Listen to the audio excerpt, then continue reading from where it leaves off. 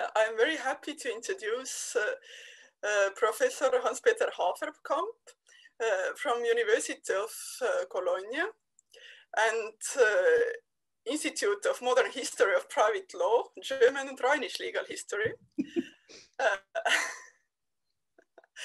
and he will talk today about the general clauses or Generalklauseln uh, he made some years ago uh, already a full course on uh, general clauses uh, uh, at University of Tartu and is one of the best specialists to this.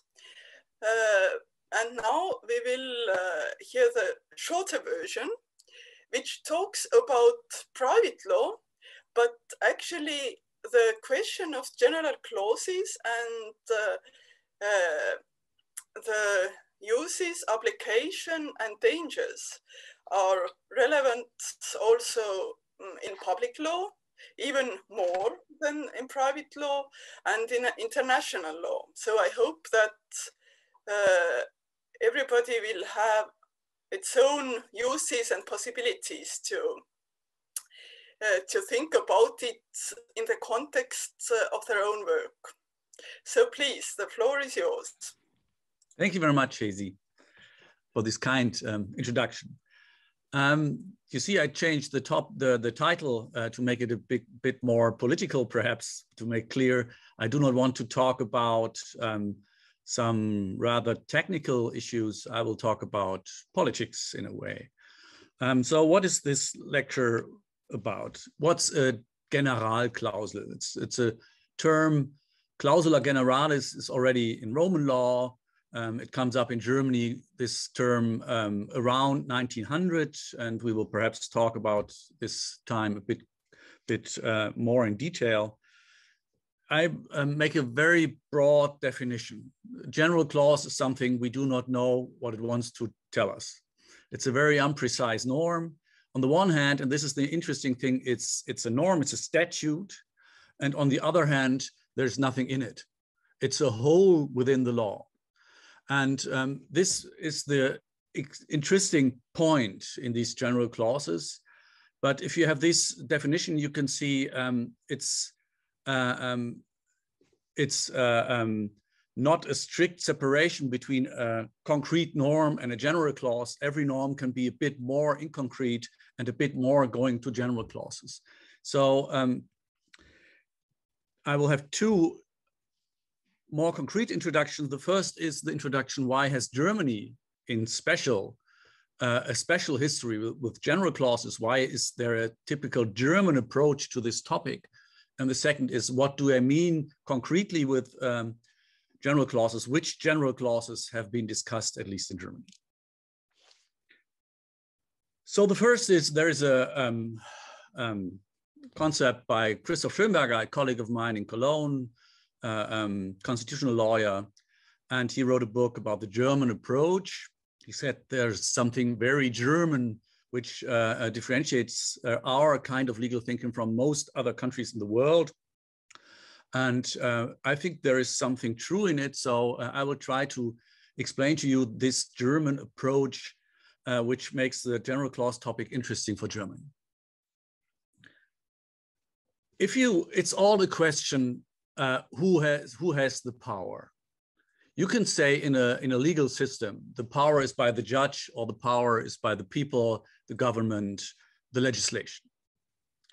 If you look to Germany, you could say um, the concept of the free judge, the old wise man deciding the case, um, has been all over in Germany, uh, um, has been there, especially in cities, uh, till the 18th, 19th century. There were still parts in German law where um, there were men deciding the case which were not educated in law and which did not obey the law. They produced law.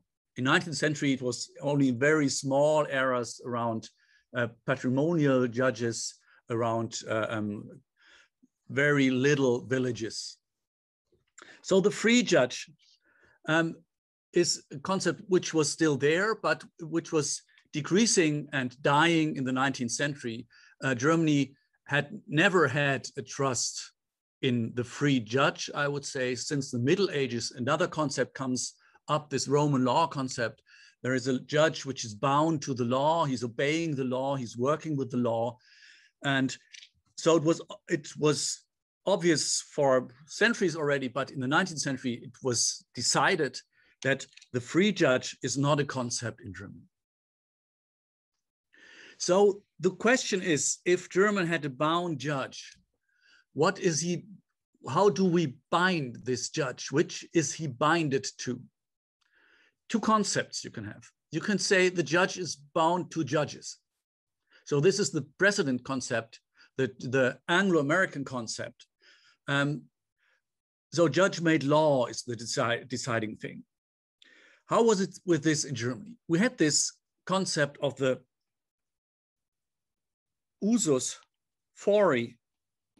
So the long living judiciary decisions, the long living judge made law was seen as binding as a statute. So it was part of the sources of the law. The problem in Germany was that um, the decisions have not been published systematically, that the decisions of the judiciary have not been published systematically until 1847. So before that, everyone is talking about an usus fori, but no one can prove it because you don't have the decisions. And this was a, it's a long story why it is like this in Germany, but this was the problem. So then there started a discussion, do we want this? But in a way it was too late. When we got all these decisions, Savigny was the one who wanted that and he uh, um, reached his aim to publish most of the important decisions. Um, but in a way, another concept had already won the, the running between these two alternatives. And this was the concept system. you must see, Germany in these days by legal scholars is seen as a nation without a state.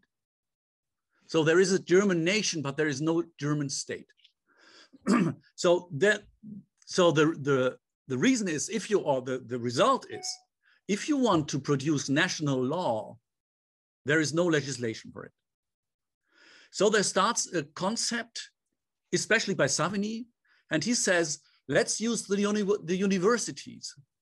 And the universities make an, make an very similar education concept. And this in the middle of this education concept, we take um, contemporary Roman law, the Roman law which is still in use in Germany. And this contemporary Roman law we take in the middle and we make a special education in methodologies, and then we pr produce very similar jurists. And these jurists produced by university, they go to court, and then they, they have all these very different territorial laws. But if they, if, if they have the same juridical mind, they, the same methodological setting in their work, then this will produce the same law. This is how they do it, and this is how, they, how it works. The German unification uh, in private law especially, is produced by judges. Uh, and only in, in the secondary way, 1900, by the civil code. Before that, we already, already had several courts, which were so important that all over, all over Germany, every other court tried to organize itself as this leading court did. And the key system in, in methods was system. How does, does this develop and what is the typical German way? You could say it's a very simple uh, and very, um, very simple idea. You could say it's a way from case to concept to system. What do I mean with that? you could say this is a very um, dangerous view, but you could say case law is the thing that starts in Rome and in the Middle Ages. the digests have lots and lots of cases, and these cases were debated. In these cases, there is some systematic thinking hidden. But anyway, the beginning starts with cases. In the Middle Ages,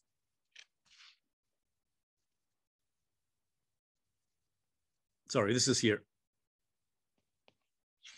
In the Middle Ages, the scholars at the Italian universities, they have a, a, very specific way of working with these Roman sources. We do not have to discuss this closer, but the result is that they pr produce concepts, the concept of property, the concept of um, contract. They produce abstract concepts. So this is an European project. It's all over Europe the same. Wherever you have Roman law, you have these kind of working with these old antique cases. This is also a European project. Wherever you have these Italian-based universities working with this Roman law, they produce concepts and they are discussed all over Europe. But then there comes something German between 1880, uh, 1780 and 1810, the German jurisprudence changes from jurisprudentia to juriscientia. The German lawyers become a Rechtswissenschaft. And this is the overtaking of a Kantian concept. Kant says it's not all about knowledge, it's about producing knowledge which is organized in the way of our legal thinking, in the way of the Vernunft. This organizing our knowledge in the way of our legal thinking, in the way of the thinking of the Vernunft, the human conscious, is called system. What they do in Germany now is they quit the old concept, which has something to do with justice, and something to do with the ability, to, to uh, uh, um, decide cases, they quit this old concept and say, we have a new, we have a new concept. Our concept, what we will have to do at the universities, we as the professors, we have to produce systems. And we do not produce ideal systems. So we are not interested in natural law, this old Hugo Grotius, Samuel Pufendorf, Thomas Hobbes, Christian Wolff, all these legal thinkers, this is not our aim. We produce systems of positive law. We take the existing, existing law and we try to understand it and to understand it to begreifen, to conceptualize, conceptualize the existing law, we have to build systems. This is what they do. It's not only the way of Savigny who does it, it's also the way of Gustav Hugo, Thibaut, and others some do it with Kant, some do it with Hegel, some do it with Schelling, whatever. They all build systems. And this concept, and this is important to me, this concept is not only a scientific concept, legal dogmatics, coherent systematic thinking, logical reasoning. It's also a political concept. The political concept means if we think in private law, then the aim of private law is to, to achieve a separation between society and the state. And if you want to separate society, and private law is the is the ability from the of the for the society to organize itself by contracts and property and all these these things. Um, we have to discuss how can we secure society against the state. And there were two concepts in 19th century Germany. The first concept was constitution. We need a constitution and the monarch uh, gives us this constitution and this will secure society against the state. This constitutional concept got several crises in 19th century.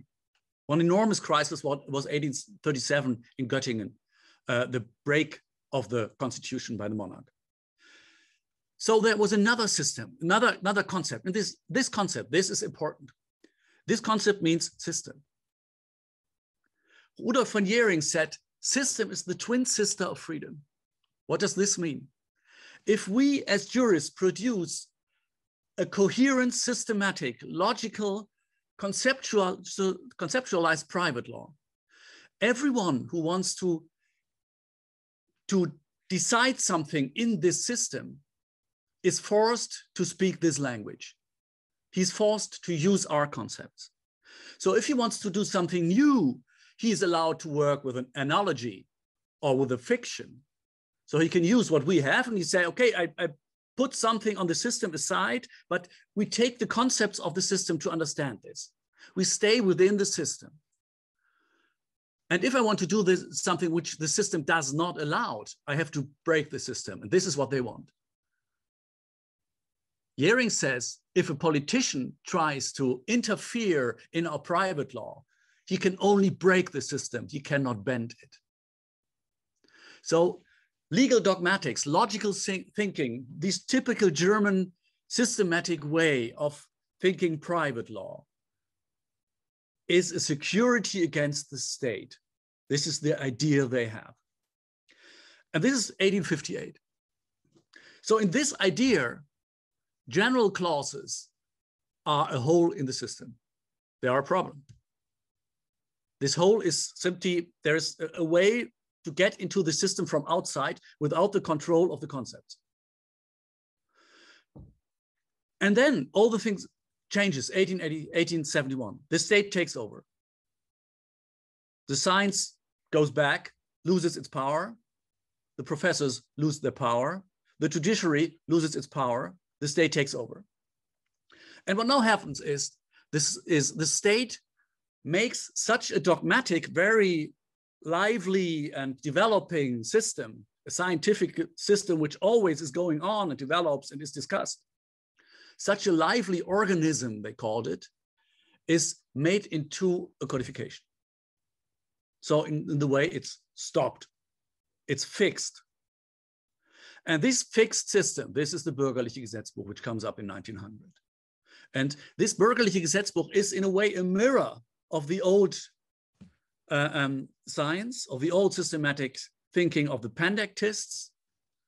They take over many ideas from them, some political changes, but many old ideas. So it's very national, natural that part of the codification are these general clauses. Because these general clauses, I will show you now, they are part of the Roman law. The Romans had these general clauses. It was never discussed to throw them out. So it's very natural that they are part of the code. But now something has changed. Before that, they were part of the system. So you had to systematize these general clauses. They had some, some techniques to work with these general clauses. Now they are part of a very strict binding codification. And now the 20th century starts. And the 20th century is the century where many, many lawyers, judges, and professors think these general clauses are not so much a problem, they are a chance. Because now we have a codification which is strictly binding, much more binding than we, than we ever had in Germany. We never had such a binding by law.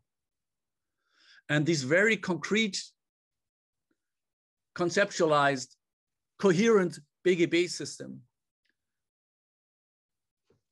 makes the German scholars to makes them look at these general clauses. They become more and more important. So what do, mean, do I mean with these general clauses?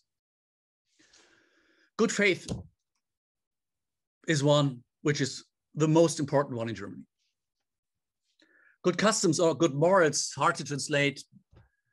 Boni mores, the Romans said, is a very old concept, totally different to good faith, totally different history, quite close to public order, state-oriented concept, while good faith is a more contractual partners-oriented concept.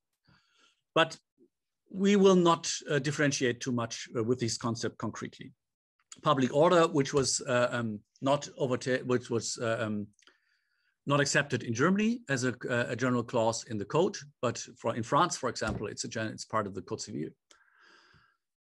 And the today most important, perhaps in Germany, uh, not in other countries, I think, is the abuse of rights. Very important concept, which is very closely influenced still today from national socialist, socialist thinking, very problematic concept, but it is very powerful for the judges, still in use. Chicanery is the older concept. We can talk about this, it will take too, too much time. What do I want to do with you now? Now I show you some concepts, so some, some key concepts. What are general clauses all about? What is their, their topic? What is their, their aim? What is their problem? And there were some in the 20th century. I tell you, I show you some.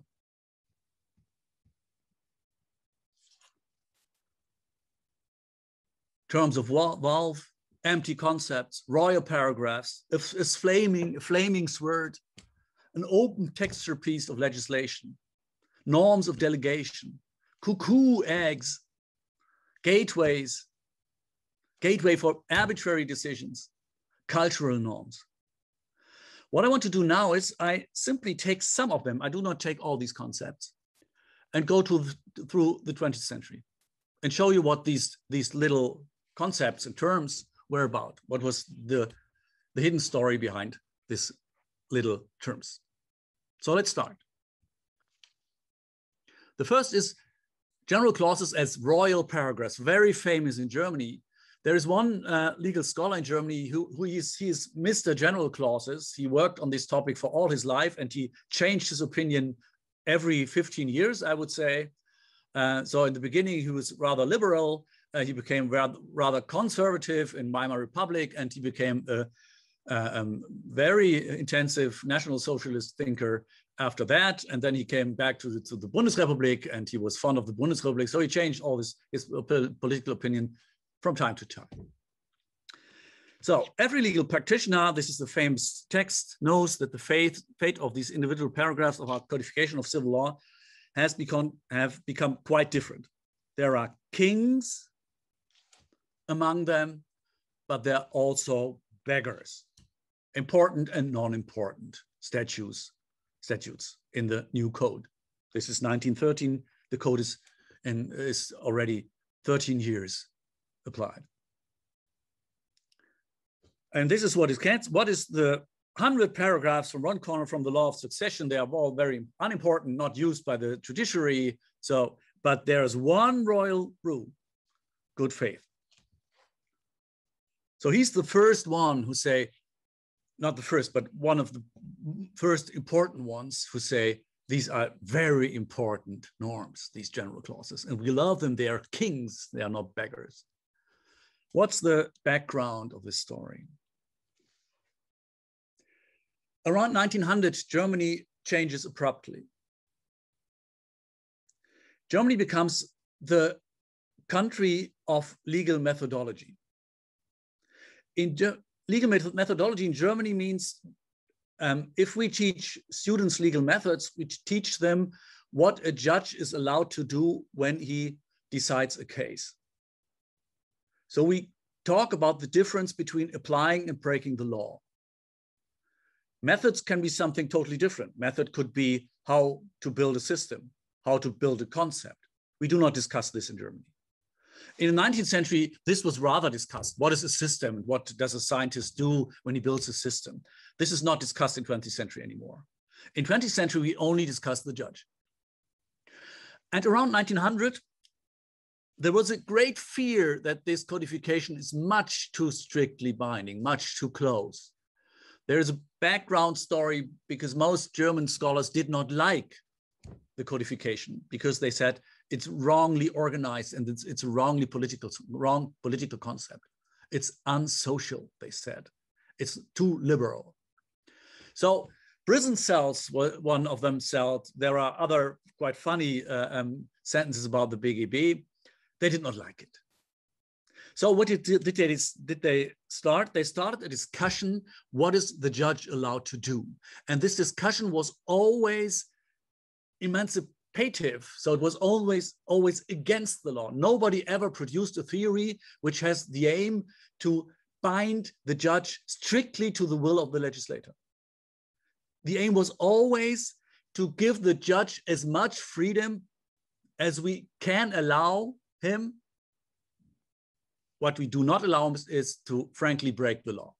So we try to get close to this frontier and say, this is allowed, you can also do this, and this is also still allowed. And so like this. We had some methodological schools, um, which I cannot discuss with you now, but they are part of this time. the free law movement. You may have heard about this, Hermann Kantorowicz and other scholars. The jurisprudence of interest, Philipp Heck and other scholars. This is all time, part of this huge debate.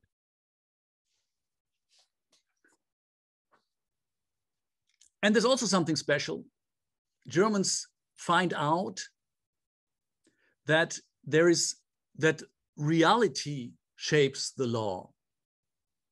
Reality means the industry makes their, their own laws by building contracts. The freedom of contracts, contract produces law.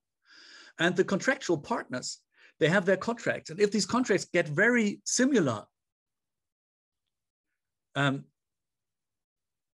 what is it? Um, Allgemeine Geschäftsbedingungen is uh, Hesi, Allgemeine Geschäftsbedingungen, who knows it? Terms the, of terms of contract or legal term? Yes, general terms of contract. General terms or something like this. However, the they get more and more the impression that uh, reality produces law, and this reality has to be obeyed by the judge. So they they try to to get this judge to be more in society, more in social uh, um, developments, more in in uh, industrial and economically problems.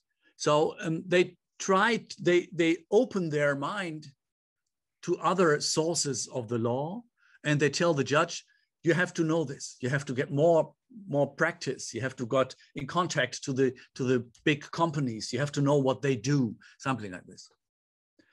So this is the part between 1914 when most German scholars say there's some hope in these general clauses.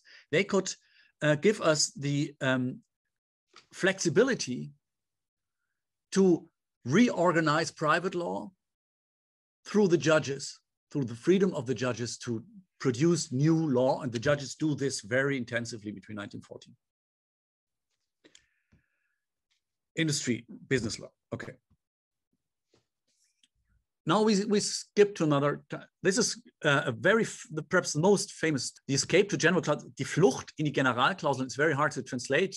Uh, um, recourse to general clauses, I think escape into general clauses uh, is not English, but perhaps it's uh, uh, it's good to understand man gave short because before the national tune is important to know because the book came up in 1933 and many always think it's a national social, socialist book which is not true. He says there are three risks. No general clauses become a danger he says. And this is the first risk is typically german i would say. The heavy work of constructing. If there is a new idea coming up in law it has to be constructed Construction means it has to be put into legal concepts we have. We have to make it part of the system. Still this dogmatic thinking. And they say if these judge, if the judges use these general clauses, they simply stop thinking in systematic way. They just decide the case. The second risk. So what will be the, the result? Then he says, feelings instead, instead of concepts de-rationalization of the law, he says. The judges do what they want. And very interesting is the third risk. This has become quite famous.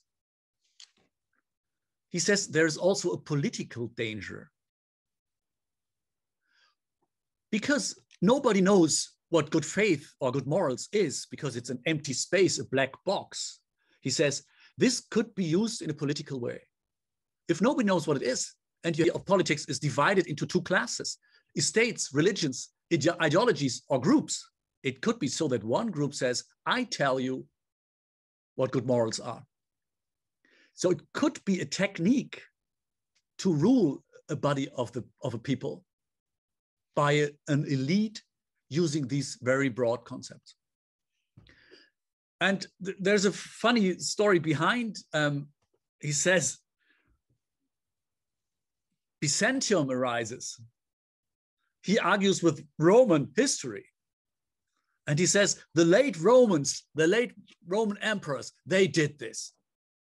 The late Byzantine, Byzantine Roman emperors, they destroyed, destroyed the old coherent systematic Roman law and took instead of that the equitas. They always wanted to decide it like the equitas. This is, Hesi, you will know this better, perhaps not very true, but it's a story of Fritz Pringsheim. He wrote, a, wrote some texts about this in 1920. And this is a, a theory which is very closely linked to the Weimar developments. They always say, uh, we are, this is a, um, uh, uh, the world is going, is, is dying, the, the Germany is dying as a country because of the Weimar Republic. This is like the old Rome. So what is, what is behind that? First thing, it's not a national socialist view. You will see. His third fear is almost exactly what the nationalists will do one year later. Um, that was a surprise to him, and it was a problem to him because um, he had to change his mind quite, quite abruptly, quite fast, because the National Socialists offended him very strongly in the beginning, and he wanted to become a leading National Socialist, so uh, he had to change his opinion very fast, and he did. That was no problem for Justus Wilhelm Hedemann. So um, no, he looked to Russia. He had Russia in mind, Lenin, and he say the socialist concepts they work with this very broad uh, um, socialist justice uh, concepts and they use them politically to steer the judiciary over political concepts coming from from top from top down and um,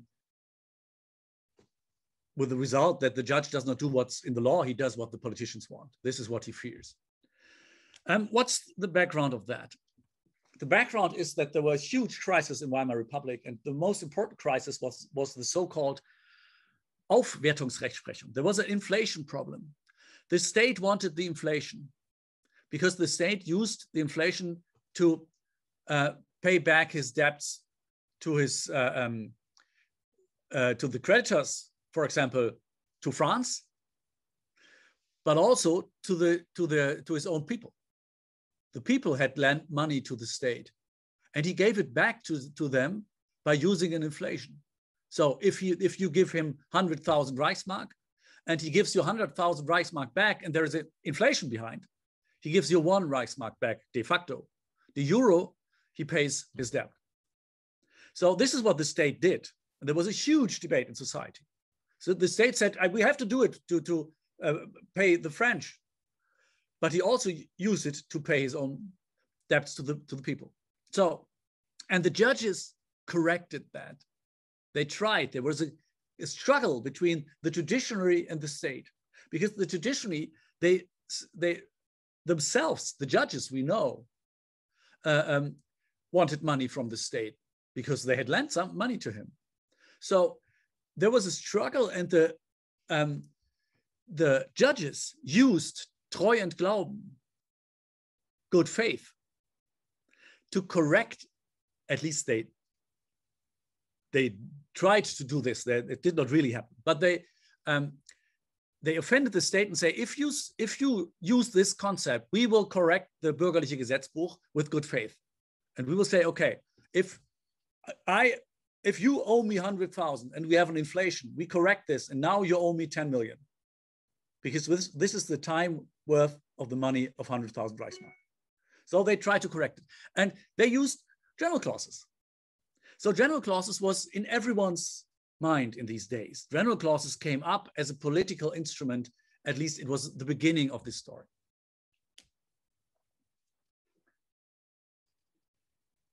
This is something to do with the political situation in Weimar. I told you, and there is a story behind. Um, the judges were conservative in Weimar, so they were quite still monarchists, most of them. They were close to the old order. The German Republic meant that the most important party in the legislation in the parliament was the Social Democrats Party. Almost no judge was part of the Social Democrats Party.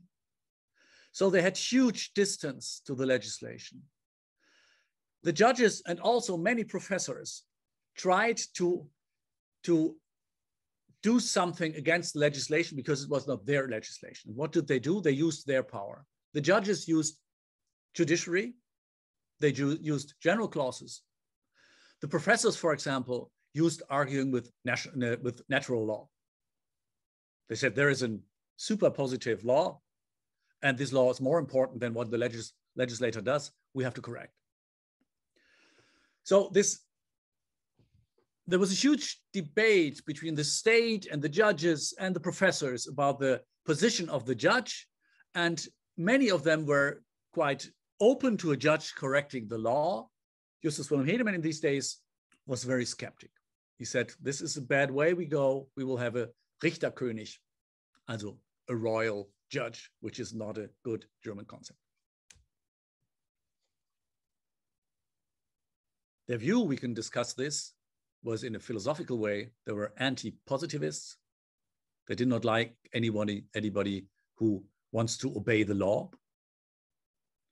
And they were anti-liberal, which meant especially they were anti-democrats. They did not want the legislation to decide. They wanted to decide themselves. They were the masters of the values, not the constitution, not the legislation. One year later, one of these young, aggressive National Socialist thinkers, a young professor in Breslau, Heinrich Lange, he's one of these National Socialists, which I really like because he explains to you how they think. He's very clear in how, how National Socialist thinking works.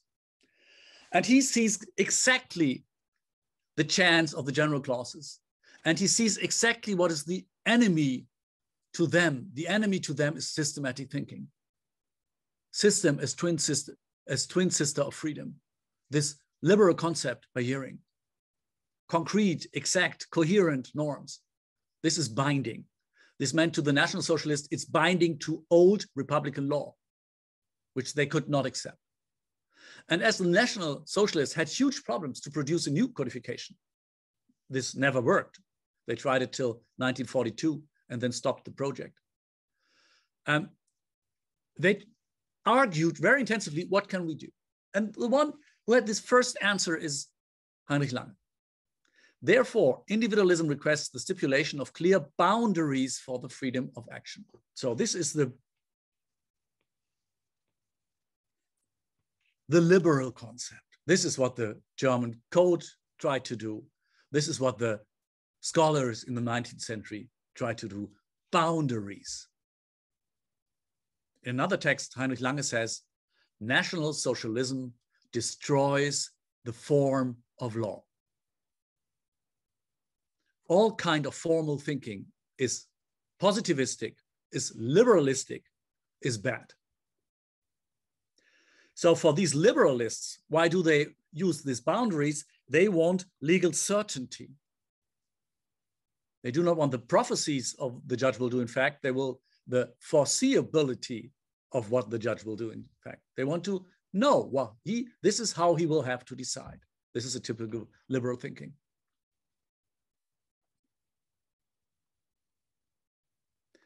And what do they want?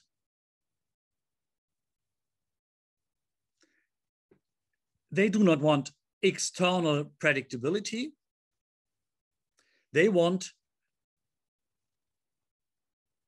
uh, flexible and unpredictable justice. They want good faith and good customs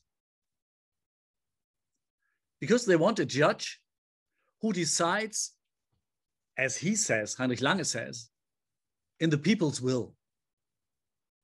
He decides just. The man on the street will, have, will hear this decision and he says, that's a just decision. Listen to the body of the people, he says. Carl Schmitt will tell us this is not the right story. But, um, and he says the famous words of cuckoo eggs, you will, you live in a country which still has countryside. So you will have cuckoos and you know that cuckoos are special birds. They are in the foreigners in, uh, in the family of another bird and they throw out the other birds. They're very strong birds. And these cuckoos in a liberalistic system, so the liberalists destroyed themselves by putting these um, general clauses into their codification. That was their mistake. This was the cuckoo they set in their own uh, um, family place. What's the history behind this? General uh, Heinrich Lange starts a huge story which is still present in Germany today. And the story is, is called General Clauses are gateways, they are doors, doors which allow other law to get into the old law.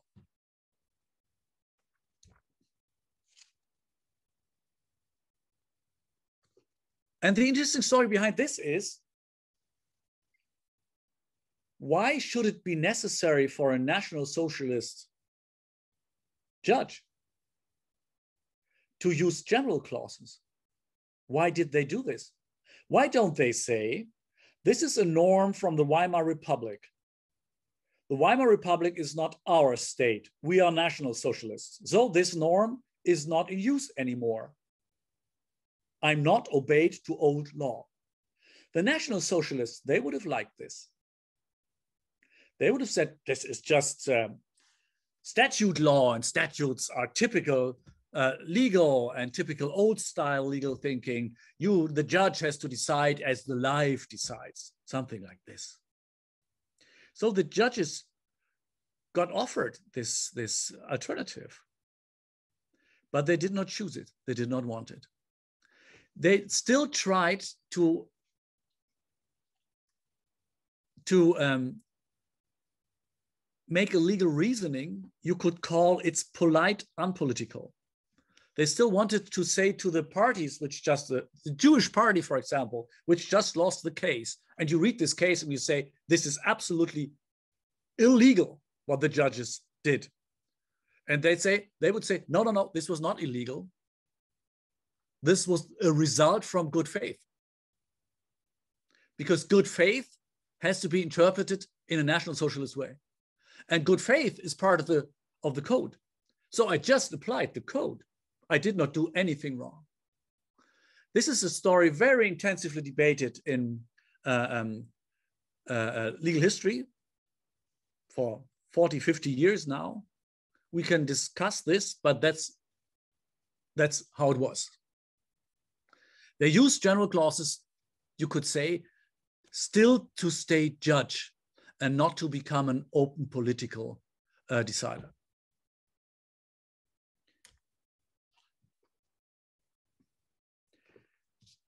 Behind this, there's a story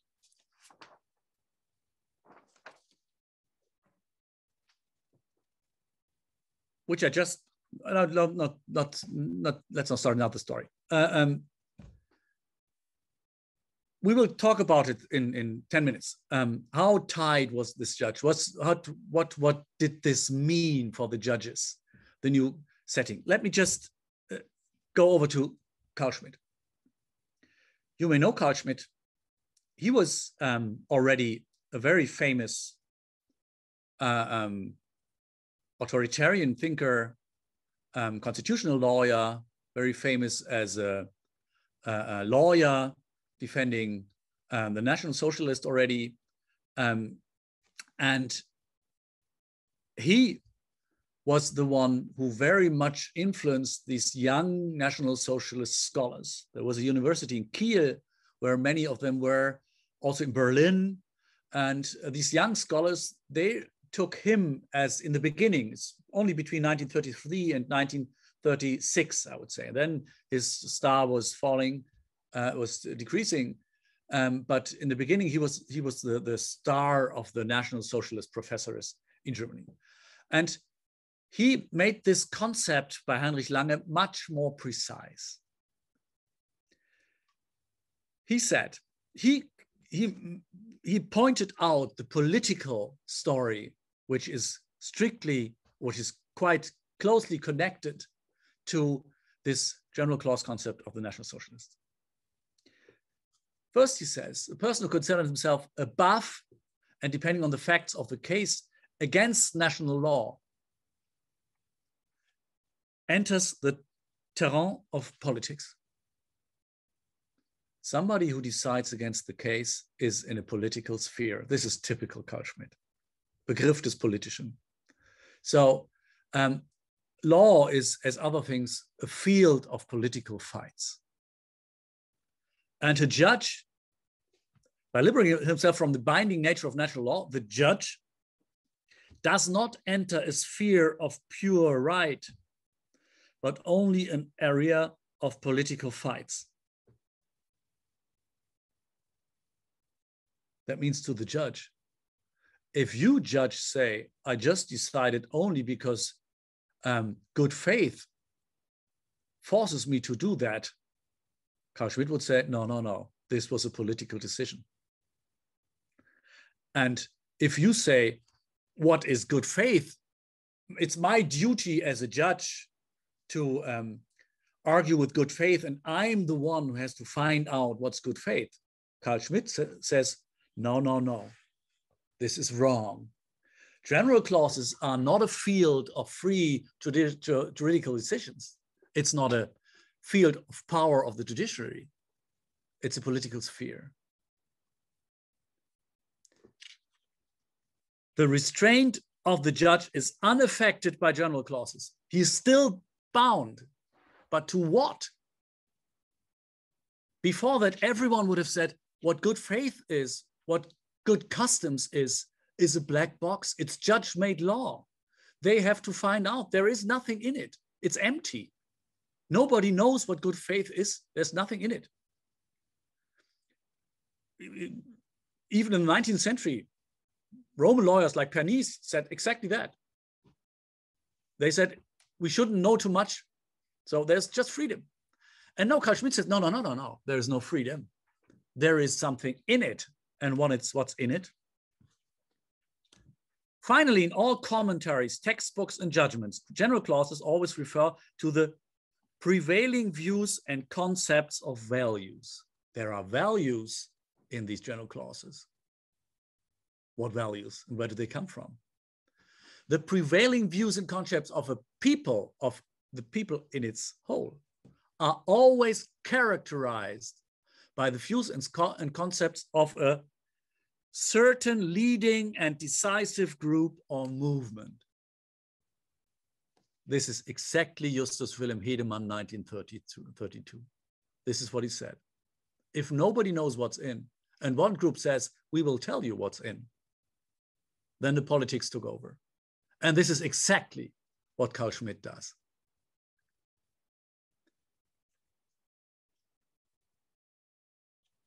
However, it's, it is not views or concepts in general that are prevailing, leading, and decisive, but the views of a particular influential persons. In the present German state, the National Socialist movement is leading. Thus, any division of good customs, good faith must be based on its principles. This is the politicization of the general clauses in Germany. Before that, general clauses were empty spaces in judge-made law. Even in Weimar, there was no clear political concept, except perhaps these Aufwertungsrechtsprechung, where the judges had a political aim. In general, there was no political concept within these general clauses. They were just empty. It was an allowance for judge-made law, nothing else. Now this changes. What does this mean? The one interesting question is, or the one development which is interesting for the next times to come, is for the first time in Germany, there is a kind of norm pyramid you know Hans Kelsen's concept. There is the there is the uh, um, the uh, um, constitution. There is the normal national law, and there is the under national law, like a pyramid. This idea, which Kelsen produced in in Vienna, has not been important in Germany. That means especially the German judges did not say that constitution produces law which allows them to correct the normal state law.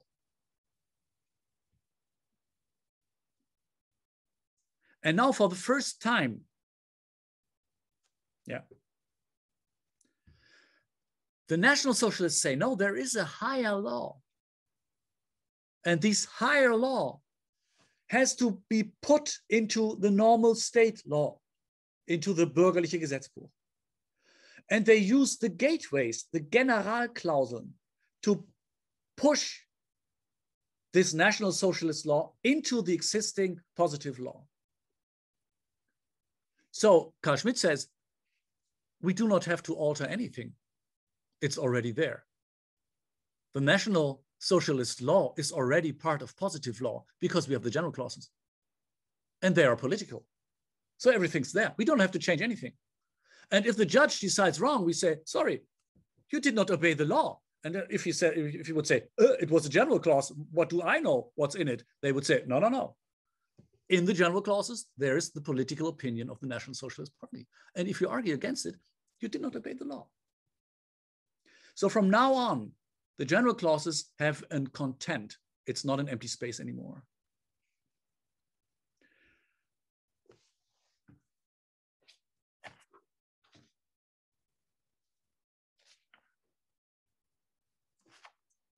And this story goes on till today.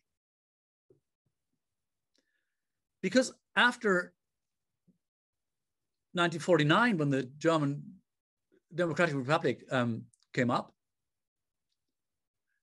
um, you will see there was quite a discussion between the High Court judges in Germany and the Bundesverfassungsgericht, the High Constitutional Court, decided that this concept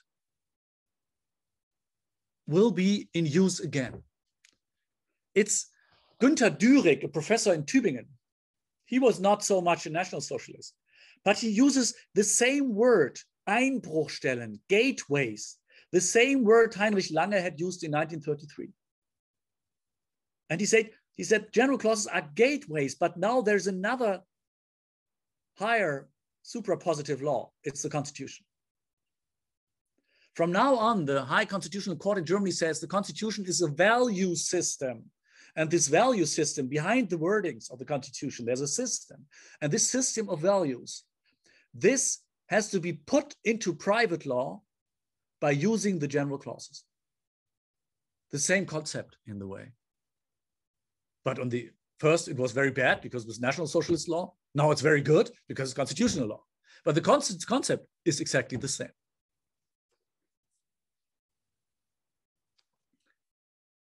But if you think a bit closer about this, what Carl Schmitt says is for the judge a huge problem. Because on the one hand, you could say, no, okay, he knows what to do. He has to decide in a National Socialist way. But that is not so easy because there is no fixed National Socialist legal theory. You may know Hitler hated law. And if would there, there somebody would have come up and said, okay, this is the national socialist law, he would never have obeyed it. We have cases where he even saved Jews because he, he liked them as military men. There's the sentence, who is Jew? I decide who is Jew. So not even this anti-Semitic core concept of the National Socialists was absolutely secure. Even there, Hitler said there can be exceptions. So, and if you go, go to private law, which I'm interested here, it's even more complex. Then one of the um, concept, for example, was trust.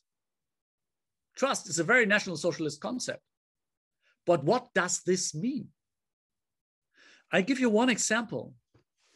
That, that was uh, discussed after 49. It, that was, would never have been discussed in the National Socialist time. Eva Braun, you will know, she was the girlfriend and the wife of Hitler in this when he died. And one, one said, what would we have done if everyone in Germany has to um, give his fur coat to the military man because they are dying in in uh, um, in Russia. So if you have a good coat, give it to the Winterhilfswerk. Everyone in Germany. But if Eva Braun would have said, no, I do not want, would a German judge have decided in such a National Socialist norm? Everyone has to give his coat, except Eva Braun, perhaps. So the judges always had the problems that in the courtroom, somebody stood up and said, I'm a friend of Adolf Hitler. If you decide against me, he will kill you. And the judges, they were not sure what will happen. So Hubert Rottleuthner, professor uh, um, in Berlin, he had good way, good way for it, good, good wording, a good term for it. This is substantial decisionism. That means, on the one hand, they simply have to decide, and this is free. On the other hand, there seems to be a substance, there seems to be a content which they are bound to, but this content is very insecure.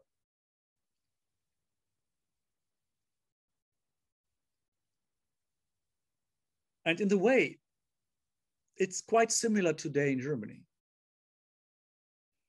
What is written in the constitution is not very clear. The constitution is quite openly written.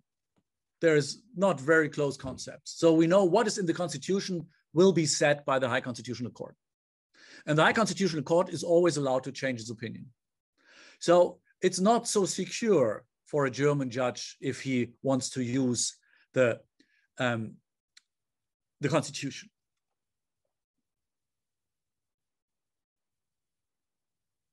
Okay. Now we are in the years after 45. In Germany, there was a short period where German lawyers discussed how could this happen it was a very short period because in the 50s already nobody discussed this anymore. But for a few years. And there was a strange reaction. The reaction was they said, How could this go wrong? And they said it went wrong in the National Socialist time because we obeyed the law. We know that this is not true they used general clauses, so it was not so clear what they should obey. And we have lots of cases where they simply produced National Socialist law. They did not follow simply National Socialist law. So it's much too simple. But this was one of the argumentation after 45 the judges used to say we are innocent. We are innocent because we simply obeyed the law. It's a sentence by Gustav Radbruch. Posit positivism made us helpless. We know this is absolutely true because uh, untrue. They were not positivists; they were anti-positivists. But anyway, this was their strategy, and now they reacted to this strategy and said, "Okay, now we have to be the guardians of the values." So now we are responsible for the results. And there started a short period between 45 and latest 1960 in Germany, which is called the natural law renaissance. And it was especially, especially very strong for the High Court, the Bundesgerichtshof. He had someone um, I will give you soon. And in this context, there's a discussion. What what are these values? Where do they come from? How can we find these values? What shall the judges do to save the values against the positive law and the legislator, which can make wrong decisions? Helmut Coing, he's very important. He's not a national socialist thinker. He was the very famous legal historian, the founder of the Max Planck Institute in Frankfurt uh, for European legal history. And he started as a young scholar um, by producing a kind of Christian natural law. And he uses these general terms like good, good customs to produce moral principles. And where does he find them? He finds them by virtue of his conscience. Conscience is very important. Everyone feels in his heart that you are not allowed to do this. We used these concepts when the GDR fell to um, uh, um, to punish uh, soldiers from the GDR who shot fleeing uh, um, people, fleeing uh, people from the from the uh, GDR who tried to escape over the frontier, and we said it was absolutely legal what you did, but in your conscience you should have you will you have to have felt that this is not allowed. You are not allowed to kill someone. This idea that we in our heart, in our conscience, we have in us these values. This is very strong after 1945. And it changes German law quite, uh, uh, quite a lot. But it's in our, our perspective here, it's important for general clauses. He uses general clauses like good customs, good morals to produce moral sentences. No person shall, ex shall exploit a position of power to gain unreasonable advantages in a legal transaction. So this is a German commentary, this Staudinger, this commentary of this paragraph 138. And this commentary, you find these moral norms. No person shall undertake to commit a breach of trust towards third parties. So you see, it's a moralization, but it's a concretization also of these general clauses. No person shall divest himself of his freedom, etc. If you look a bit closer, these moral norms are the result of the judiciary, of decisions, of court decisions mainly. In reality, took over what the courts did and gave it a moral principle. So these principles did not come out of his heart, if you read the same commentary from 1920, you will find decisions which say similar things, but not in such an in a moralized way, not as such a moral sentence. This is typical for the time.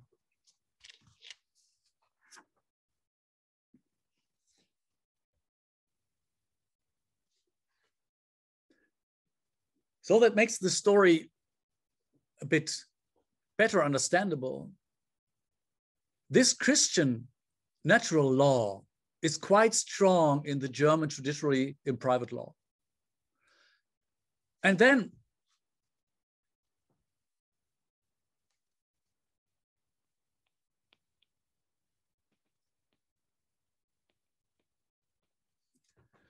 1958, the Lüth decision by the Bundesverfassungsgericht comes up. And this Lüth decision is the first to, that says we use general clauses for this value system in our constitution to be put into the positive law.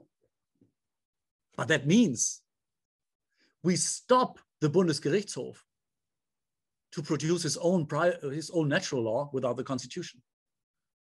The constitution is a stop sign for the Bundesgerichtshof and this stopped this judiciary, especially in Christian things, which is especially very strong in family law. We will talk about family law to, to, today. In German family law, they have a very conservative Christian uh, um, thinking about man and women. And the Bundesverfassungsgericht stops this and they say, that's it, you're not responsible anymore. We are responsible because we have the constitution. We are the masters of the constitution. And the constitution is the value system which guides every positive law.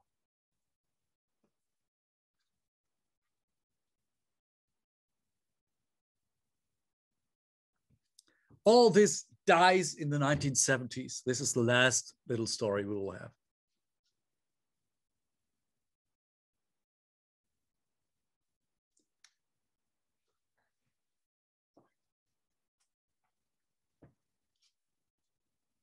In the 1970s, the German universities get, as many other countries, a left-wing legal shift, a Marxist shift. So they say, um, what is law? They say law is a superstructure. What is, what is important is the basis. What do judges do? Judges have power and they decide because of their social understanding of society. So judges are, do not obey law, not at all. Legal dogmatics is a lie. The reality is it's all about power. So they shift the view from the law and from the natural law and from values onto society, empirics, um, social sciences. This is what they're interested in. And they are interested in a totally different part of these general clauses. These general clauses in Germany, they refer to good customs. That means they refer to customs. This is something which is going on in reality, a custom. They refer to a, to a Verkehrssitte in good faith, according or with respect to the the customs in society, in, in the in the legal society, you could say, something like this. Verkehrssitte. And they say, okay, this is important. This is interesting. There, the code gives us a way to the reality of society. There starts an intensive debate in Germany because they say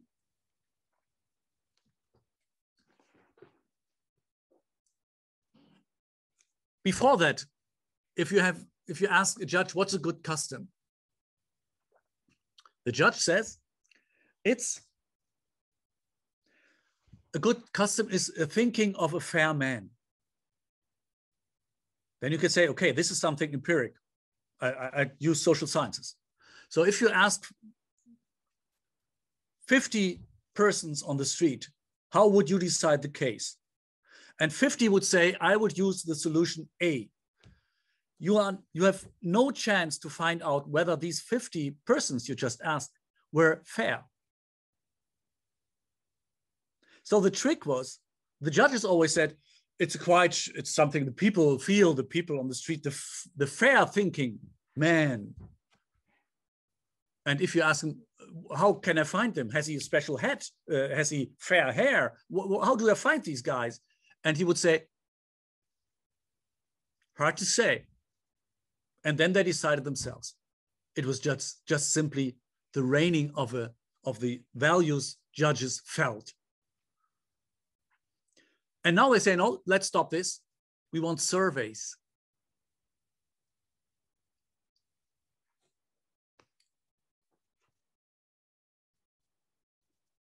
They want public opinion polls.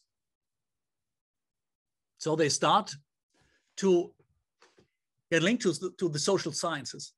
And this is a very interesting story. The German education system is changed in these years. Social sciences are part, all the law faculties get connected to social science faculties. They shall work together. And the social science, the sociologists especially, they shall explain to the, to the stupid uh, jurists how reality works. This does not work at all. The sociologists are very aggressive and arrogant, and they say jurists are simply stupid. They have no idea how reality works. The jurists say, I give you one answer. Um, no, no, no, they don't want the, the sociologists to take over. And I give you one answer. Um, they use a word um, which is hard to, sure, that's, that's simple. Uh, the, the, the, judges did not use it because it's much expensive. You have to decide the case and then, okay, let's stop the case and make, make a survey which costs uh, 20,000 euros uh, um, to find out what people think on the streets. But jurists always said there's not only a good custom, custom, there can also be a bad custom. So Customs are not important. Important is whether they are good or bad. The sociologist said, no, no, important is whether it's a custom. The jurist said, no, no, important is whether it's good or bad. So this was a discussion. Um, Rolf Sack, 2003, you see, it's not very old, uh, um, this quotation. The sense of decency of all persons who think in a, there you see, this is the story, who think in a fair and just way, who do not only think, they have to think in a specific way, fair and just, cannot simply be deter determined by opinion polls. Because it's not the sense of decency of all people that decides, but only of those who think in a fair and just way. Furthermore, it is not the sense of decency of all those who normally think in fair and just way because their judgment might be wrong in the specific instance. Therefore, only the sense of decency of those who think in a fair and just way in the specific instance can matter. You see more and more the jurist has to decide. No one else is able to do this. This is a very specific way of reasoning. To determine this group of people, one has to know already what is just and fair in the specific, specific single case. That is exactly the problem. If you say, I'm looking for a just and fair man, I have to know what is just and fair to find him. This is a circle. Yeah, it does not work. But the person who knows what is what this is already knows what was what corresponds to good customs in the specific case too. The result is that a survey covering those people who think in a fair and just way in the single specific case becomes redundant. This whole arguing is redundant. Uh, so the question should be, why do we have to ask someone who thinks in a fair and just way? But if we ask somebody who's in a fair and just way, surveys can't, can't help us at all because all these stupid people on the street have no idea of just and fair. You see, it's a struggle between jurists and sociologists. It's about the power, who is in charge to decide the case. And the jurists fight for their own power. Okay. Oh, sorry. Oops. For 50 minutes, I will make it. Okay. I forgot one uh, very important last group. This is the group of the so-called Wertungsjurisprudenz, which some people say is still the most prominent methodological group in Germany, which I do not think is true. He says general clauses, uh, this, this movement is a movement coming from the 50s and saying what is important, what do we have to decide, to what according do we have to decide? And they say values. And where do these values come from? This is the black box. Karl Larenz says these values come from um, he uses phenomenologists, Husserl, Reinach, thinkers before the First World War. And these phenomenologists, phenomenologists, so to say, they say it's a phenomenon you have to find out by living in it. And Karl Larenz writes a book in 1975, which gives leading values for private law. Vertrauen, trust, for example, equality. And he says these are simply basic principles of private law. And I, as a scientist, I know this by finding this in life. And his main scholar is Klaus Wilhelm Canaris. He just died a few months ago. He's the most prominent private law scholar for the last 50 years in Germany. And he says the judge has to decide according to standards which cannot be taken from the general clauses. So general clauses are black box. But how what helps us to decide then? He said you have to look at the circumstances of the case, very concrete. And these circumstances of the case, they will give you the values. You will find them concrete in the decision. In 1996, he says, the acts of juridical thought, which are actually decisive, take place outside the field of formal logic. It's this very old fight in Germany against formal logic, which was never in use by, by lawyers. Formal logic is not the logic lawyers use. As the essence of this law is making value decisions, it's the lawyer's task to understand and comprehend valuations, to think things through to an end, so value decisions.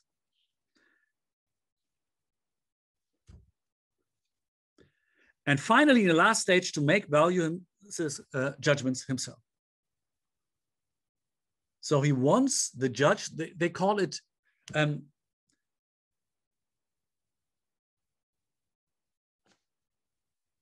um, honestly an, an honestly method or a man, method of honesty. Don't try to hide what you do. Say what you believe. So this led if all these typical process what a judge does he uses a norm and he decides by uh, um, taking all the concepts out of the norm and interpreting these concepts of the norm and like this all these thinking. If this is all wrong then general clauses are the best way to show us what a judge really does. He makes value decisions. Where does his, these values come? He has to find them in the concrete case. In the concrete case. and they can be found by discussion and uh, um, whatever. not, not with uh, Canaris, by the constitution. Uh, this, is not, this is not his main view. And what the idea behind is quite metaphysical. He says all these positive norms we have to work with, they are all kind, kind of a, a part of a teleological system. This is an old idea Savigny had. It's metaphysics. There's teleology, sense in reality. And this sense leads us to principles, to values, and these values have to be understood to decide correctly, not the wordings, not so much the concepts of the law. So there's something behind. Similar to what the High Constitutional Court says, there is this value system of the Constitution. This has changed German law, and I will only show you one example. This is a new statute in our code since 2001. And this is the statute um, which allows the judge to make his own value decisions in the case. He has to weigh values and interests. There are conflicting interests and conflicting values. And the judge has to say, I have to, this value and this interest and this value and this interest, and I have to side to weigh which is the right decision in the case, in the concrete case.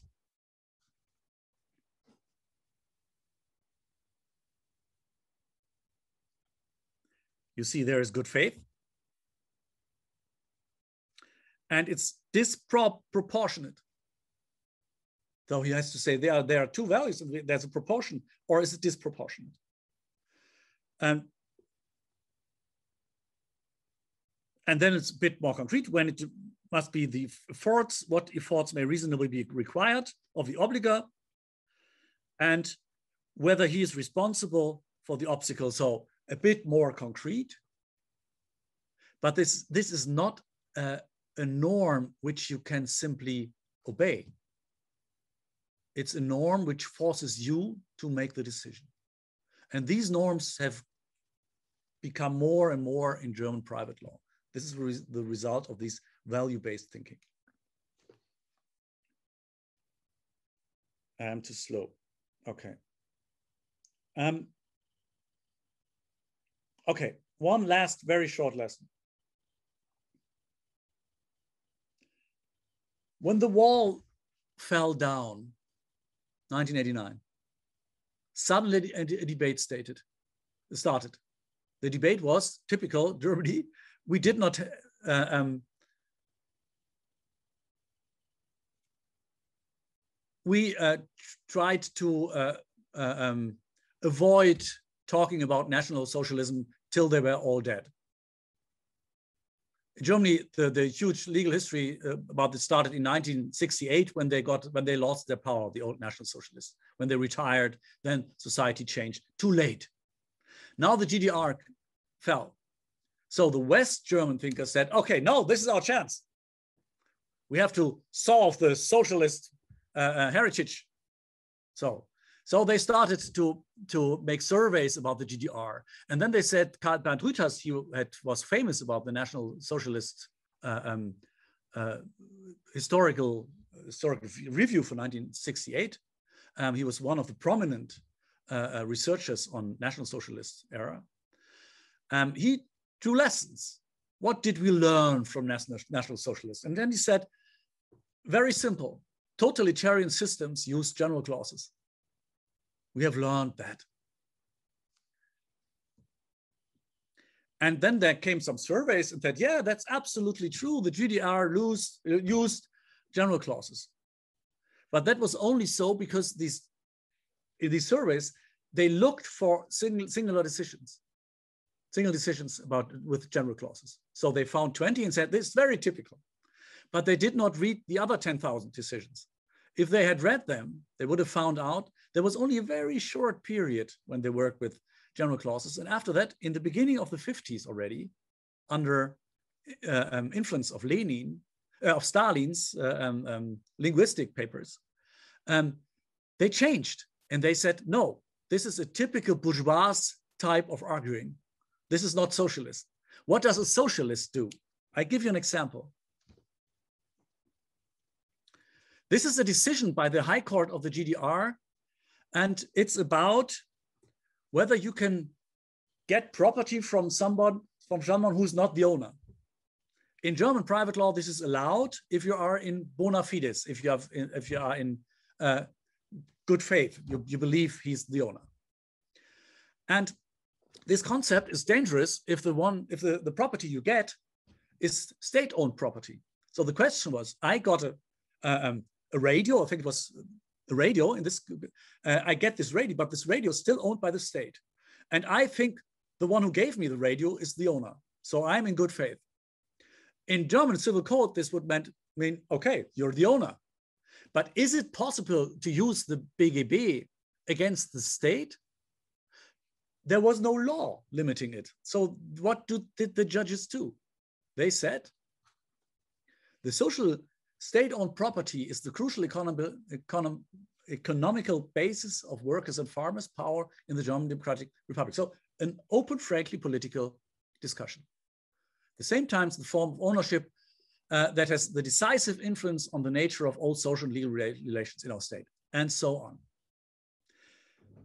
The norms of the German private law, which are state sanctions, are still in effect, can therefore not be applied insofar that they would disturb or affect this development. So the sign, the, the uh, um, development in society, this is what shapes the law. And if there is a law which would uh, destroy or uh, um, offend this development, this law can simply not be applied. It's not existing law anymore. So they say, um, the same holds true for the application of the norms concerning the acquisition of ownership in good faith concerning contained in, these are the norms in the BGB which would allow me to become uh, owner of this property.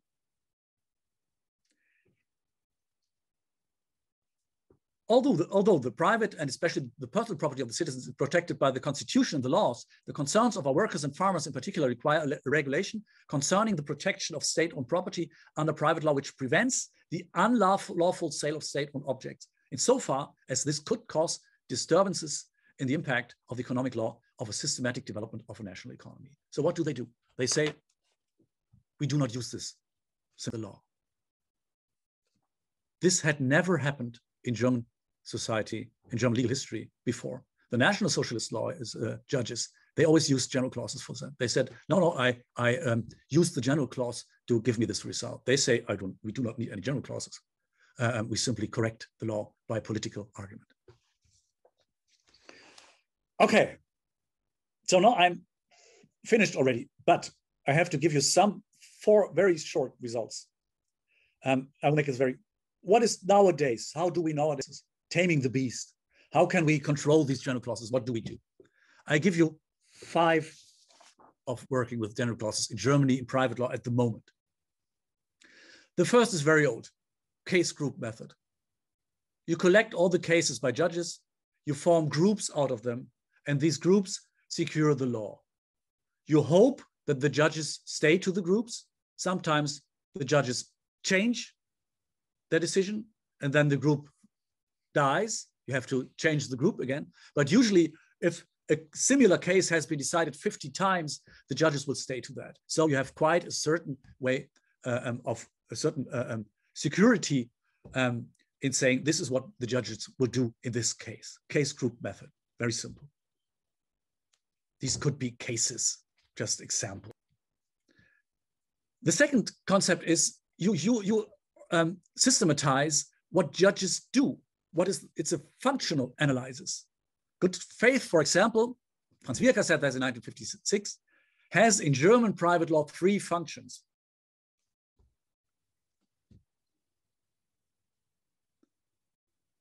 The judge uses it to think over and modernize and realize the legislative value plan over the close, two close wordings of the codification alone. Second, he uses it for an unethical abuse or exercise of right to control the exercise of rights. And he uses it to produce new law, contra.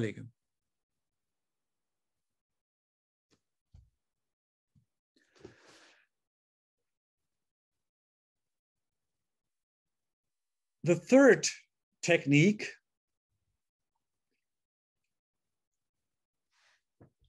is an internal classification, types of decisions.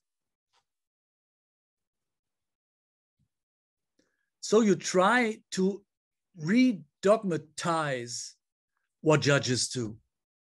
You do not say they have similar cases. You say in these cases, there is a dogmatic principle, and you try to reconceptualize this principle, and this principle shall give you more security in what they do.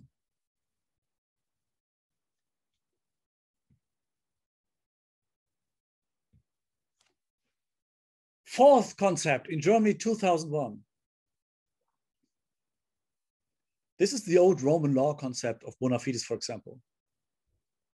Bona fides in Roman law was used by the praetor to produce uh, new concepts. In the beginning, they were out of bona fides, and then they started to become an old, an, an own, a new, a new dogmatic concept.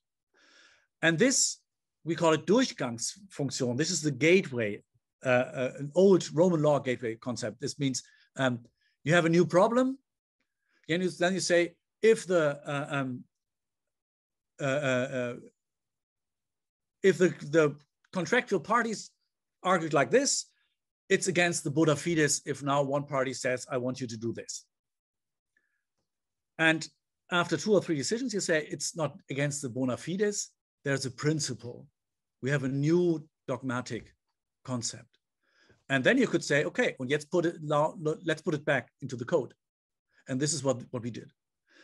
Before 2001, um, for example, we had this one, the, the most important commentary, the so-called Staudinger to the BGB, had, let's say, I don't know, 11 volumes.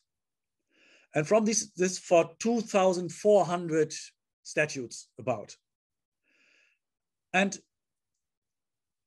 from these 11 or 12 volumes. One volume was about 2,242, about good faith, about one section with 1,300 pages. In the 80s, there was a, uh, um, a survey telling us that 10% of the decisions of the Bundesgerichtshof quoted paragraph 242 were based on good faith 10%. From these 10%, from these 1300 pages, we recodified perhaps three quarter. So most of them is written in a more precise way in Germany in the code already. So it's not, again, not anymore judge made law by good faith. It's part of the code. Some examples here. All the law of terms and conditions, this is what we looked for, allgemeine Geschäftsbedingungen, are based on decisions which were based on the good morals concept, paragraph 138. Now it's law within the code and other concepts too. And the last concept, which still is in charge, you may know a constitution is usually nothing which should be directly applied in private law. Because fundamental rights are against the state and not against your contractor.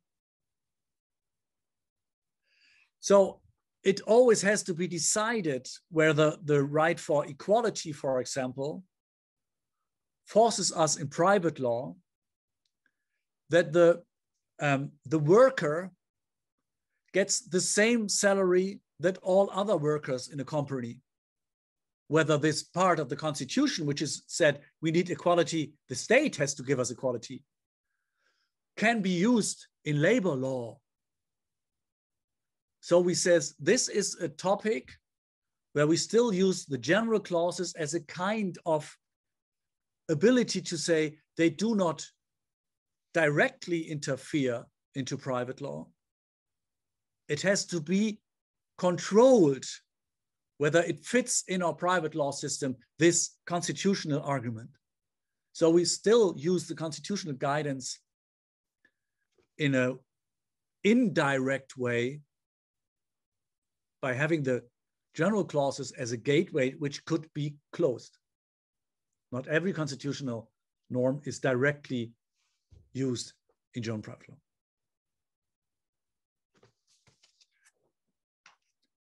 That's it. Sorry, I was too long. Thank you very much. Thank you very much. Um, it was an usual lecture of Hans-Peter Haferkamp and fascinated. I,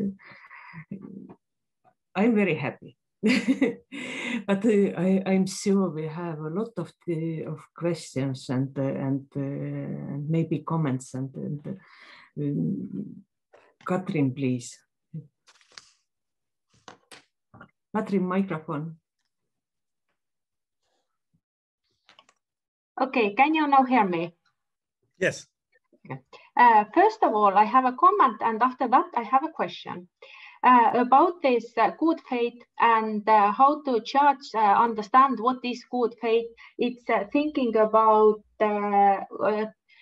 how fair and just people think about it and all these big theories and question polls and uh, so on.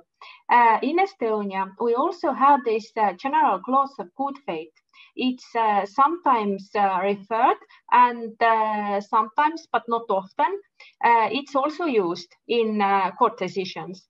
And when we have that kind of problem, uh, then first of all, judge is checking if there has been that kind of case before in Supreme Court.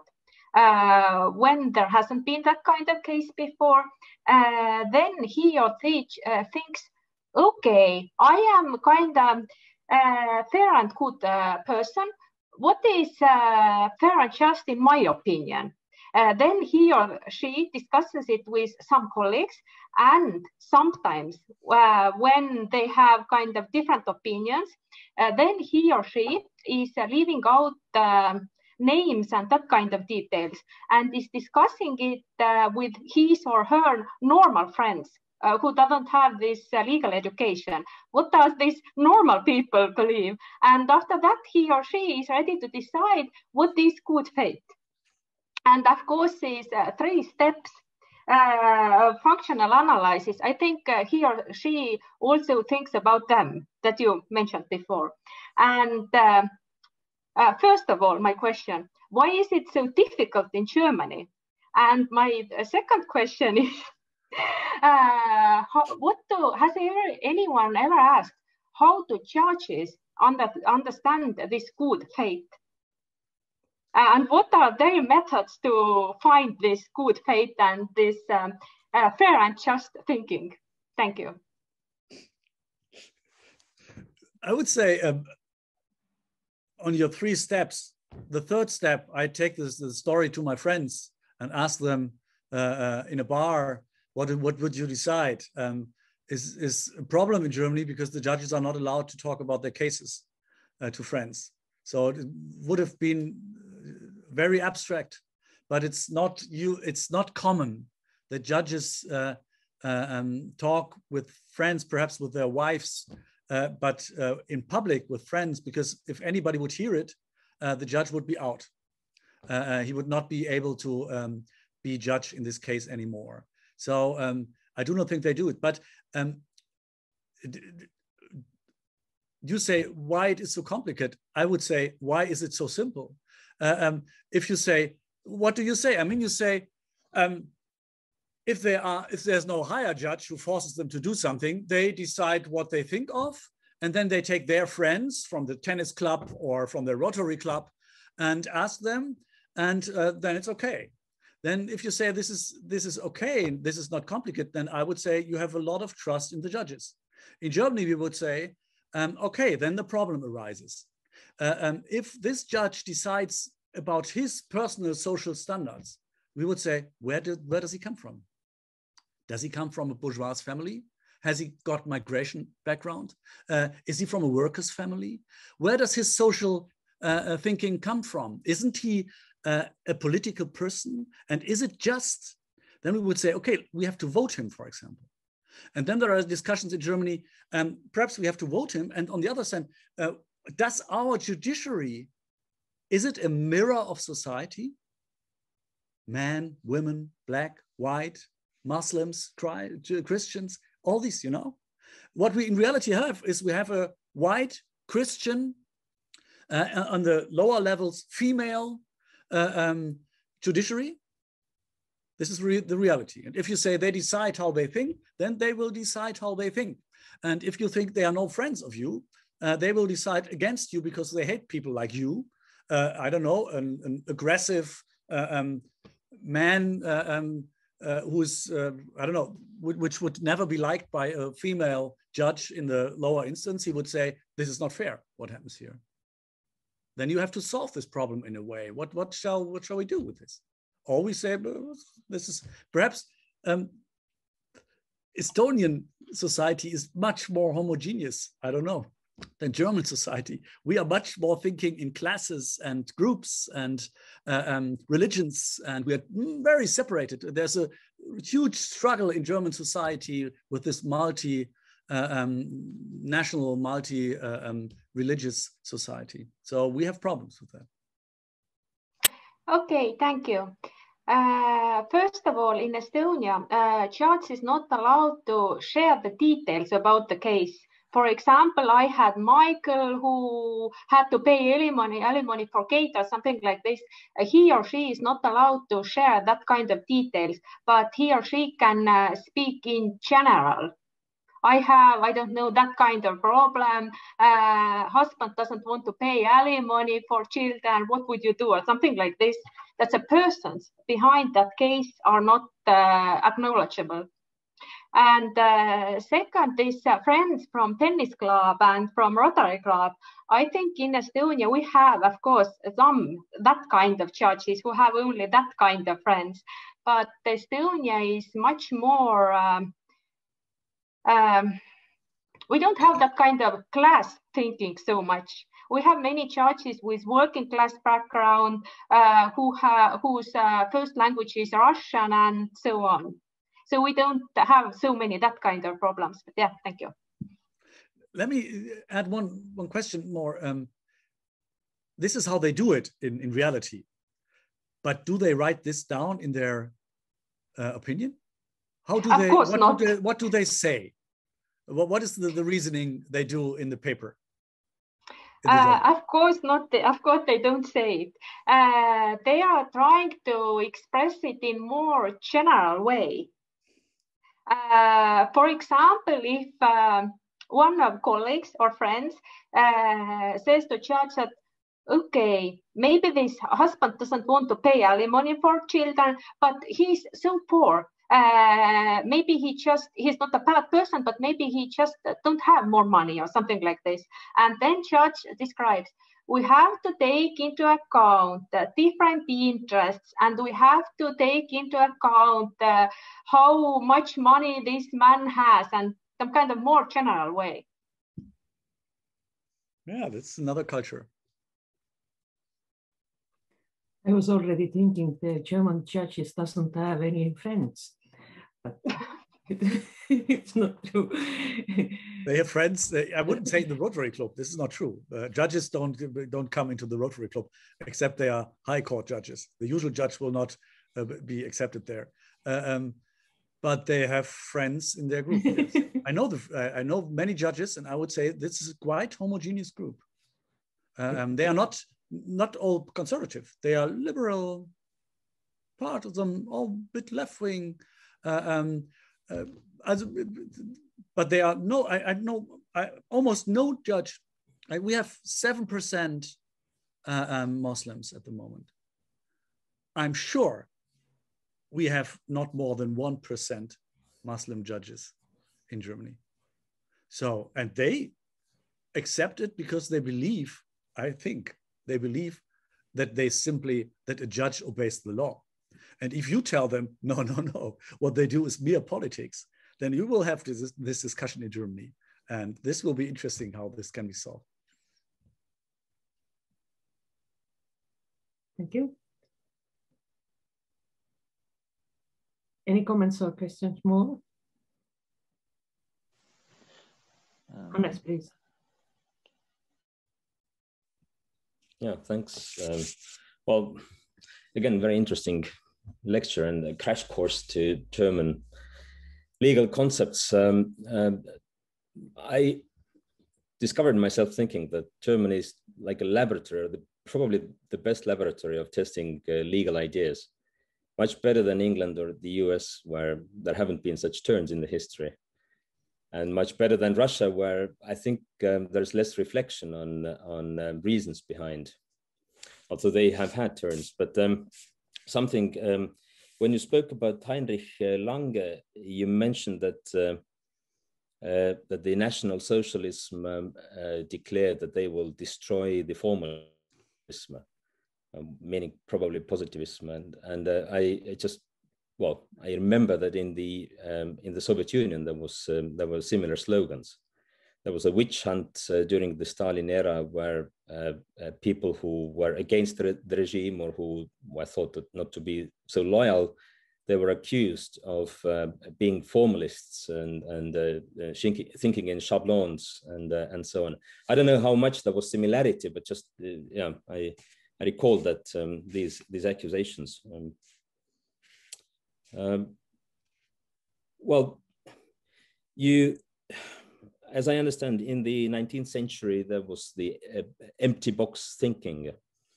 And then later, the, the box was filled in like with ideology. Would it be National Socialism or, or just socialism or left uh, wing thinking? Uh, do you think it is realistic, really, think of a charge as an empty box when applying uh, general clauses? I, I, I, I believe we, we just discussed about the Rotary background or Muslim background, whatever. We all come with some sort of background. So I, I would say that the empty box concept is, is artificial.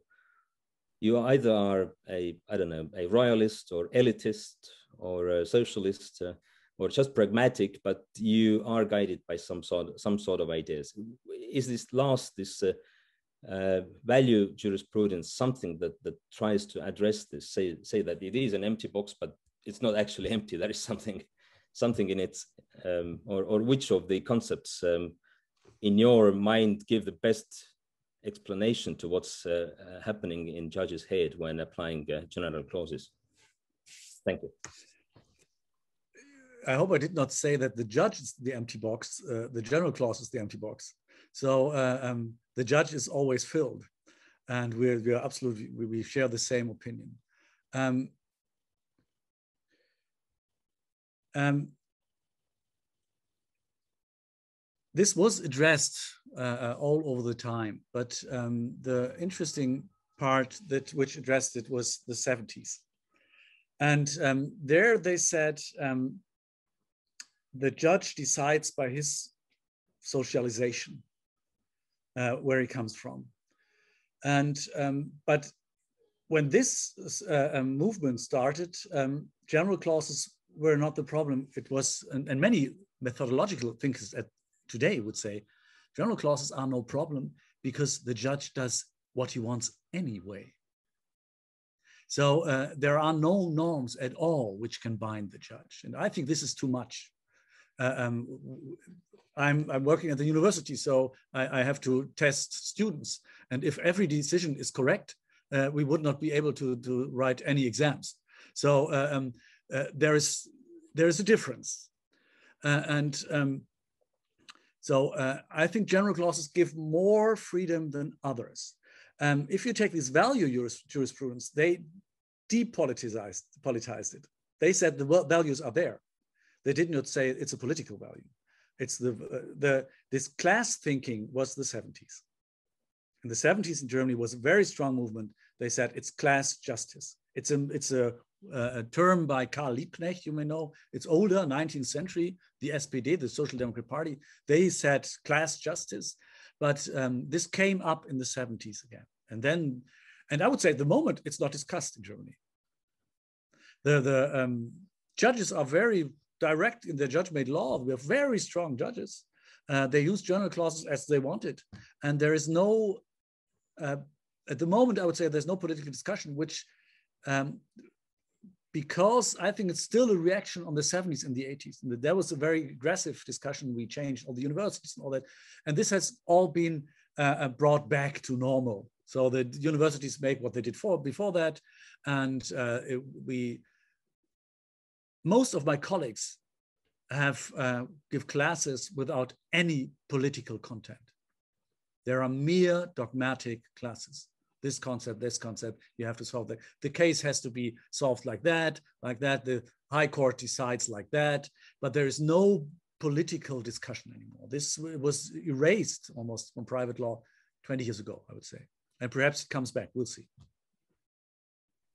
So the ideal is not an empty judge, of course, but a judge uh, who is only filled in with pure law and, and, nothing more, no politics, no social background, nothing. Do they manage? in in we, the uh, judgments, um, uh, when a court, uh, when a judge is arguing and, and um, uh, trying to um, uh, rely on on some values, do do they ever mention I don't know Christian values or or well they refer to the constitution. That's a safe bet, I guess, but uh, um, nothing, nothing, more. No. The German legal science in private law, totally different other parts, uh, criminal law or uh, constitutional law, but in private law, um, they have accepted uh, um, the um, the reign of the practice. So what the High Court says is correct. And so the most professor, for example, in, in company law, very important, a lot of money, much power. Uh, many colleagues work in company law, for example, but um, their main aim is to become part of a small group which is invited by the second senate of the Bundesgerichtshof, which is in charge for company law. And they, if they are invited, they are part of the power. So they, they totally gave up, I would say, the autonomy of science and the, the, the external perspective. They, are, they do not criticize the practice. They try to get part of the practice. They try to get, to get a partner of um, legislation, for example.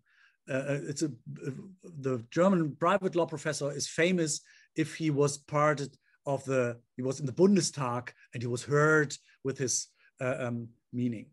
So this is totally different to the 19th century, for example. They, they said, we are the science and this is the reality. And uh, these are two, two separated ways of working. This is not anymore. And so this means also that uh, legal science and private law is not a critical uh, outside view on what happens in Germany. This mm -hmm. is more in politics. Left-wing parties, they criticize it for example. And they are not, especially in commercial law, I would, I would imagine you would um, also rely or invoke uh, economic principles. But I remember you saying in some of the previous lectures that uh, there's not much uh, economic analysis in uh, jurisprudence. There's a small group, but uh, what is always marginal, strong, not not not the mainstream. Thing. No, but small, strong group, good, good. Gerhard Wagner, Holger Fleischer, very prominent thinkers. But what is always said in Germany is economic analysis uh, is no correction of the law. So there is no political principle in it. It's just a way of arguing if efficiency and uh, it's a way of yeah, but they it's not seen as a political movement. You could see it. I have a colleague here um, he has a system theory uh, concept. He is a private law theorist and he has a political concept. That means we have to build networks and we have to share knowledge and all this well here sander and Siim and i we, we all practice uh, commercial law um, or financial law and uh, and uh, I would say that uh, uh, investor protection, for instance, uh, or, or, company law, it, it, it is very much well. It depends on on both economy and and on political decisions also, because the the judgments they have consequences on on on well yeah funds uh, and and wealth of people. So that's why I, I can't imagine how you can just apply pure law without um, considering the economic arguments in uh, in commercial law of that type at least. I would say they sure they have economic arguments but they do not have an economic theory. Mm-hmm. so they, they do not have a concept.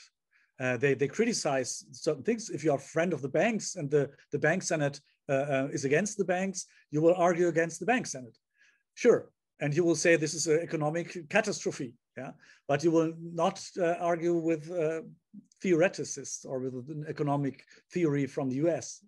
I, I, my impression, most of my colleagues will not do this. How is it with, with you in, in Estonia? Do you uh, say then, okay, there's this Harvard theory and uh, you criticize the, the high court uh, out of such a position?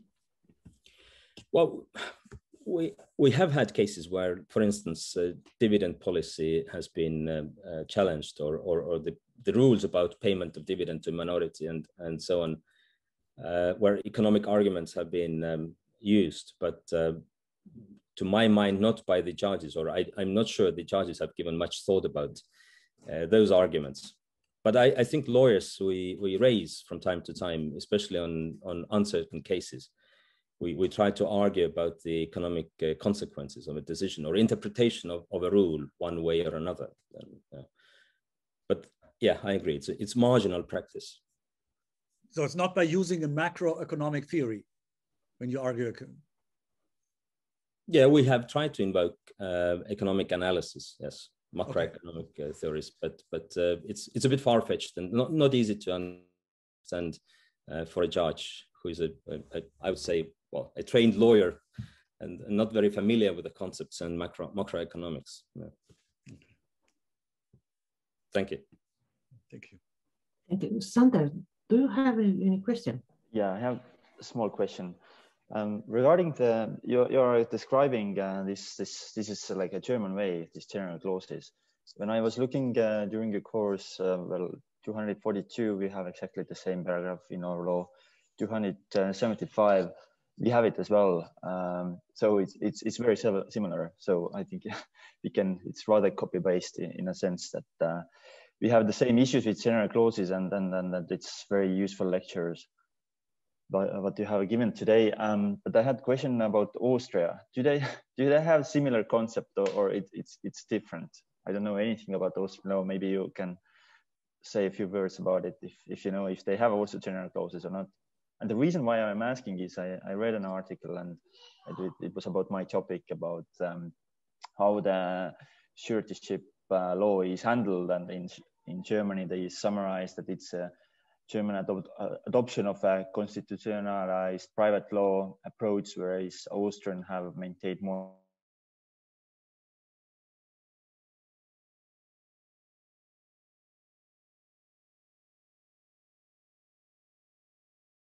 allgemeine bürgerliche Gesetzbuch in Austria, they also have general clauses. They also have this Roman law foundation. Um, but they, and they have a theory which is close to us. Uh, and the, there are many, Theo Mayer-Maly, for example, uh, Austrian professor, he writes uh, about uh, um, good morals uh, uh, in German commentaries and in Austrian commentaries. So it's a very close shop was what this uh, uh, this theory means. But in reality, as far as I know, I know some uh, one High Court judge from the Oberste Gericht in Wien, Vienna, and um, um, from talking to him, my impression is um, in Germany, uh, general clauses are more important because we have this very uh, uh, systematized and strict code, the Bürgerliche Gesetzbuch, which is quite uh, um, precise. You would never say that to the Allgemeine Bürgerliche Gesetzbuch from 1811. This is not a very precise code.